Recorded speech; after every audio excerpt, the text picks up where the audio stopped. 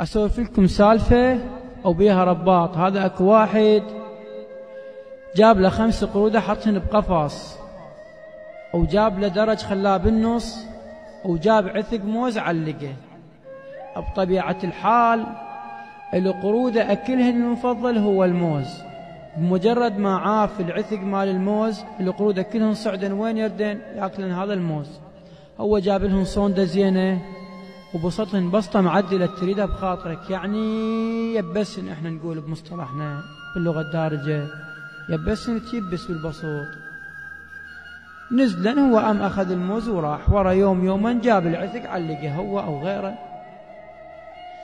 همهن سون قام يباوعن على هذا صاحبهن وعلى كيف الدنن شوية شوية هم لزمهن بالصندة وبسطهن مرة له وهكذا مرة اثنين ثلاثة قام يعوف عثق الموز أسبوع لما يتلف عثق الموز وياخذه يذبه وهن ما يدنن ليش؟ لأن ينبسطن قام سوى أخذ واحد من ذن القرودة جاب واحد جديد.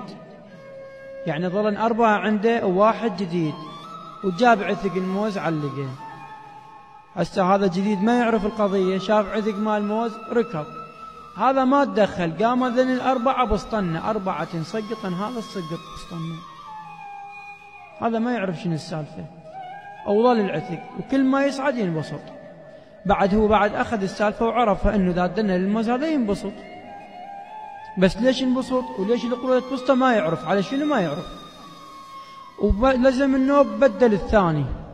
وبدل الثالث. لحد ما بدل أربع قرودة. طلع عندك بس واحد قديم. آخر شي شال هذا القديم أو جاب الخامس. هسه خمس قرودة هو ما باسطهن.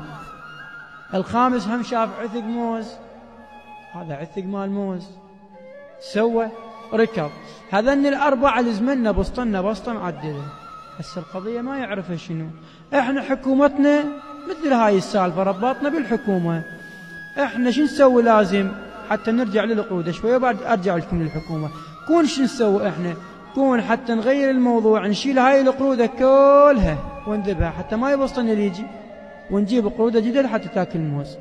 إحنا حكومتنا ما يريد تغيير فلان وفلان بيها لا. كون نغير الحكومة كلها شلع قلع تتغير. كل الحكومة هاي.